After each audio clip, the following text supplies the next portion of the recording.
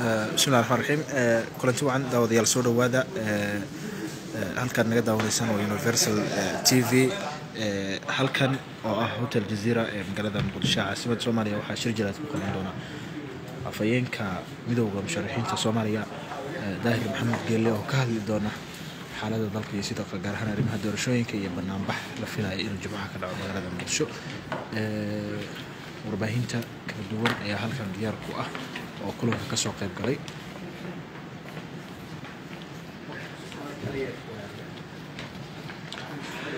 سودا وهذا صاحب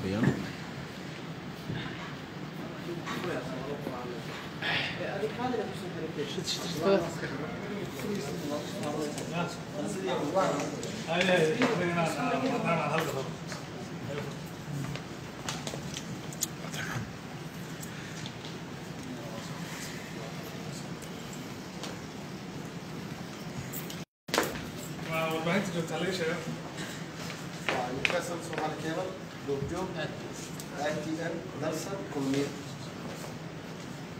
الله الرحمن الرحيم الحمد لله رب العالمين وصلى على سيدنا محمد وعلى اله اجمعين. مستشفى صومالي مركز سيد دكتور حمد بن سلامة السلام عليكم ورحمة الله وبركاته. إلهي الحمد بريا سبحانه وتعالى. ساعدنا ساعدنا كبر يسوع إلهي سيكون أمني وذي ah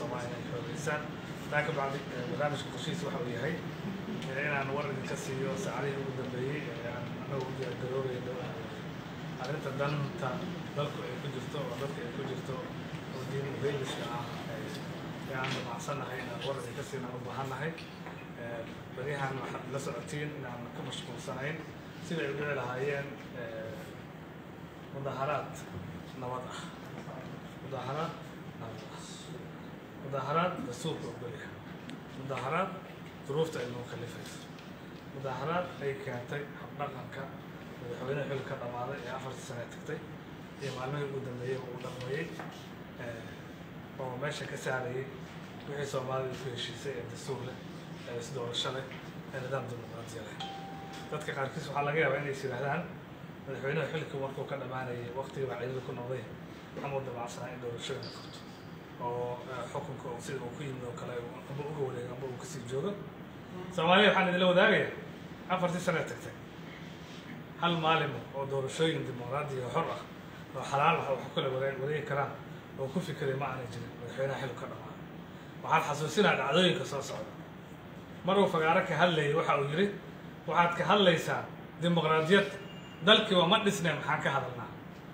Waxa uu aaminsan yahay in dimuqraadiyada iyo xukunka wareegiisa iyo nidaamkiisa inta laga daayo asaga uu joogo si uu wax u dhiso waxaa ka hoos baxsanayd in dalka dimuqraadiyadu aysan dumina dictatornimada ay dumisay. Mar kale uu ka hadlayay jabuuti ama madaxweynaha jabuuti oo runtii xurmo iyo xushmo badan soomaalida ay u hayso dadaalada uu ka soo galay nabadeynta soomaaliya marka loo fiiriyo iyo maanta dhex jooga ay dhex taagan yihiin ciidamadiisa iyagoo nabad ilaalina waxa uu ka soo qaatay ismaaciil soomaaliya dadaalka uu geliyey iyo nabadda uu ka shaqeeyey iyo dalkiisa horumarinta uu ku sameeyey kama uusan fiirin in dhowr madaxweyne soomaaliya isbedeshay madaxweynaha uu ku waqti ahaa. Taasina uu kaga jeeday inaan wax ka baranaa loo baahan yahay. Waxaa ka hoos baxday ismaaciil waxaa lagu xasanaa dalka inuu degay oo dana badan oo adduunka uu leeyahay danihiisa ka dhamaysay adduunka la gedisan. Ayaa ismaaciil laga fiiriyaa lagama fiiriyo markaad adigu doorashada qaban weyso anaad tiraahdi intii la joogi jiray oo kala rabaa inaan joogo. Barra doorashada kama baaqan ismaaciil kama baaqan laakiin asaga hadda doorashadii ugu soo horeysay tii uu ku yimid tii ka dambeysay waa uu diidan yahay la taliyayaashiisa bilowgiiba waxay qabeen. In soomaaliya dal dagaal ay wax ku leedahay. Waxaan xasanin ay aada iskugu dhadhow yihiin oo u yimaado leh. Soomaaliya ilaahay ay u sahlan mid laba boqol oo kun ka dil ama saddex boqol oo kun ka dil caawo waxaan leeyahay. Reer muqdisho saddex qof idinkama go-do oo laydinka dilo saddexda boqol oo madaxweynaha saaxiibadiisa ay sheegayaan iska daaya hal qof idinkama go-do umana socono qof inuu ku dhinto laakiin dalka waxaa weli awoodi gacanta ku haya dowladdii ku tababarnayd inay dadka disho. Taasi waa mid. Midda kale waxay tahay. Annagu berrita waxaan rabnaa berri maana saadan waxaan rabnaa mudaaharaadkii nabadda ahaa inay dhacaan.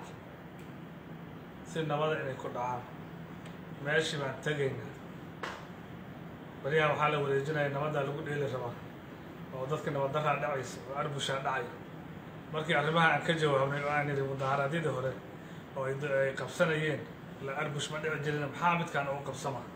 Haddii annaga arbushka ay naga imaanayeen maxay ku hor nooga imaan waayeen kuwa anagu aan ugu samaynayna taa markay ka gudbeen maanta waxaa loo xeydxeytay ama odaga u xeydxeytay inuu cudurdaar kala raadiyo oo ah covid nineteen wax la yidhaahdaa jiro oo waa soo laba kacaleeyo dadku yaanay isu imaanin waxay iloobeen amba u iloobeen? Suuqa bakaalaha inuu sidiisiiya waxay iloobeen amba is ilowsiiyeen amba talada uga xumaatay masaajidii iyo iskooladii jaamacadii in sida loo dhigto waxay iloobeen amba is ilowsiinayaan in mudaaharadan kuwii ka horreeyey iyagoo ay meesha ku qabteen. Annagu covid nineteenka waan ognahay. Bulshada soomaalida baan uga digaynaa. Wacyigelin baan ka samaynaynaa. Si aan mudaaharaadyadii hore loogu diyaar garoobin u adeegidda bulshada ee arrimaha caafimaadka la xiriiro ayaan ugu diyaar garoobina faahfaahinta waxaa idin siin doono cabdullahi baa idin siin doona.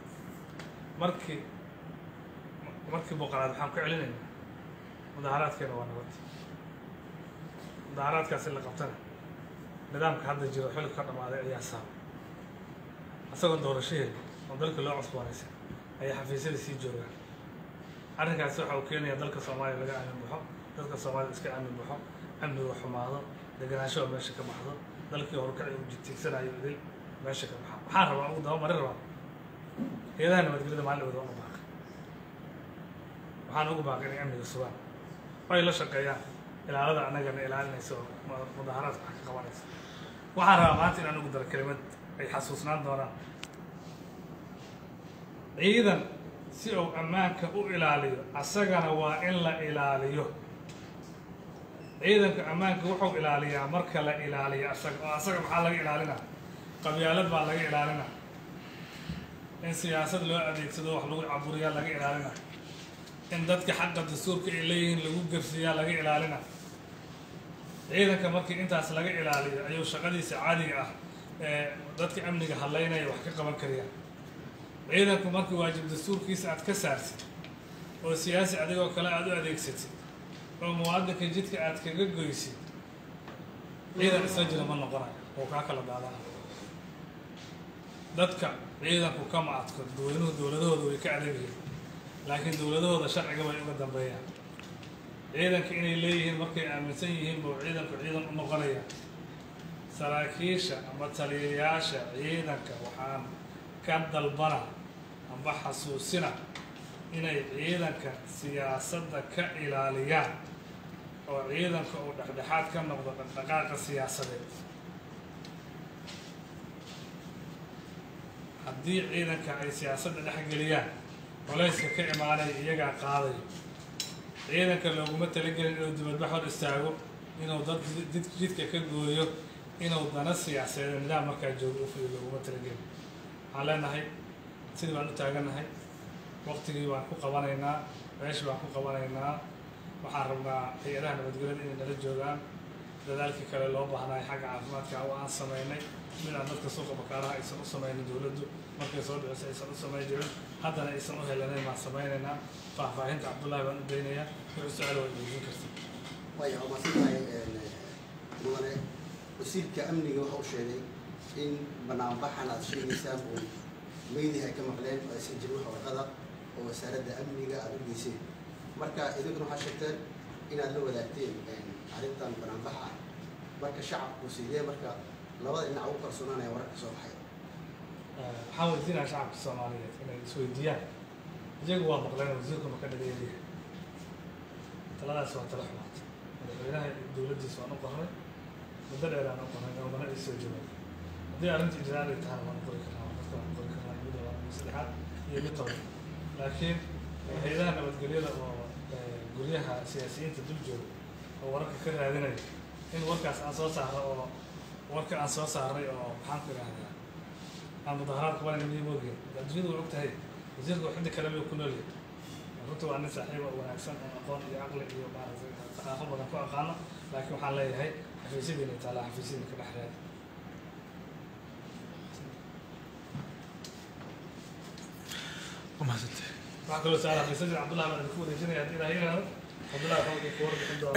waa hagaag daawadayaal ee, weli waxaa naga daawanaysaan ee, universal t v ee, halkan waxaa warbaahinta kula hadlay afhayeenka midooda musharaxiinta soomaaliya daahir maxamuud gelle waxauna ka warbixiyey. Banaanbaxa la filayo maalinta jimcaha in lagu qabto magaalada muqdisho ee caasimadda soomaaliya markaana waxaa warbaahinta la hadli doona cabdulaahi telefoon oo ka hadli doona isna mowqifkooda ku aadan waxaa waa afhayeenka guddiga midooda musharaxiinta waxauna ka warbixinayaa diyaar garowga. Aad iyo aad ayaad umahadsan tihiin ka soo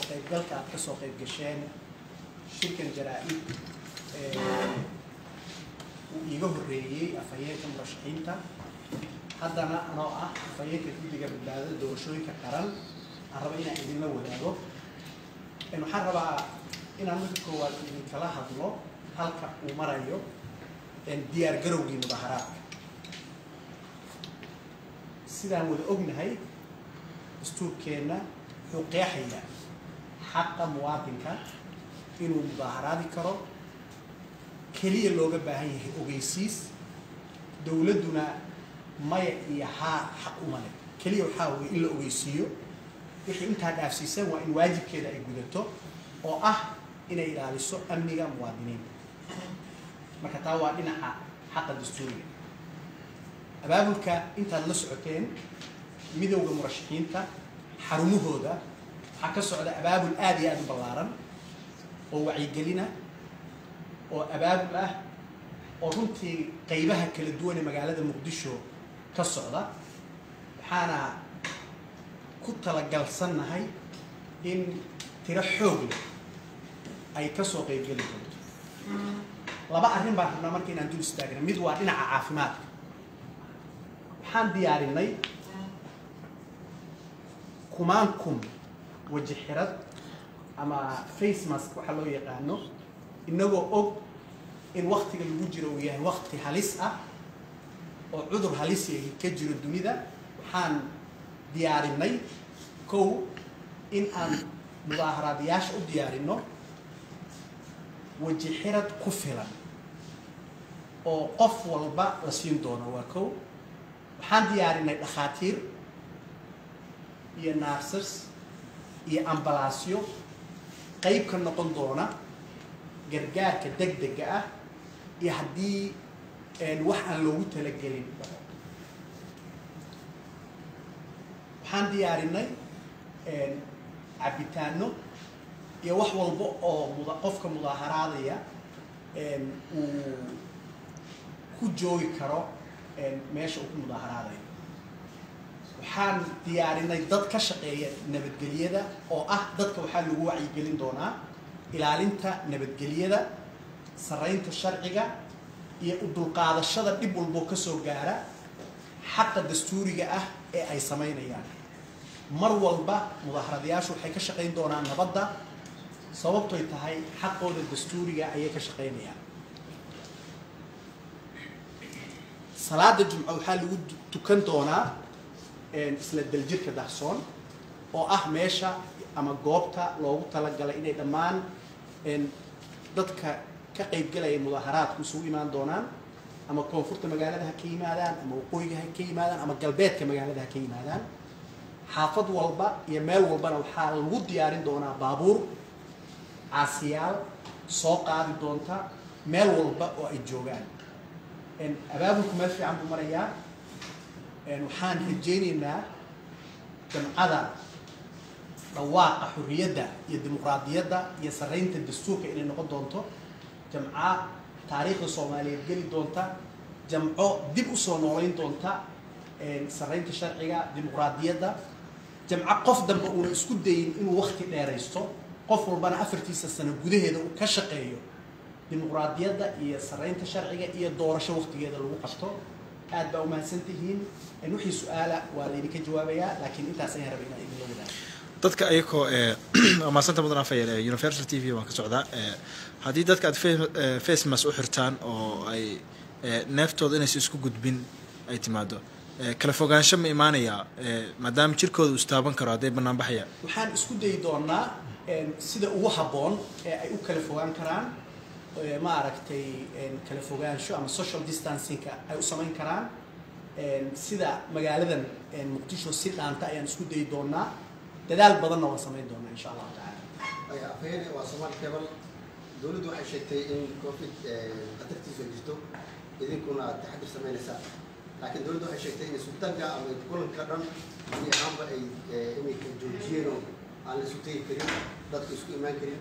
Marka sidee idinku kulan qabanaysaan haddii dawladdu kulan horta waa marka koowaade covid 19 wuu jira isbuuc ka hor. Markii gobolka banaadir baa saddex iyo toban aqalka saraa la siiyey lagu dhawaaqay in dowladdu daljirka dahsoon ku dabaaldegaysay arrin siyaasadeed ay ahayd wuu jiray. Marka waa moral high groundkooda aad buu liitaa waxaa dadka wacdin kara sharcigana u sheegi kara qofka sharciga ku dhaqma. Laakiin qofka sharciga ku tunta isagu dadka sharciga uma sheegi karo. Waa mahadsan tahay kaasi waxa uu ahaa afhayeenka guddiga doorashooyinka ee guddiga doorashada badbaadada qaranka. Universal ayaadna naga daawanayseen intaas ayaan ku soo gabagabaynaa leefka wixii war soo kordha waxaad ku daawan doontaan wararkayga dambe haddii alla awoodala ka raali waa mahadsantiin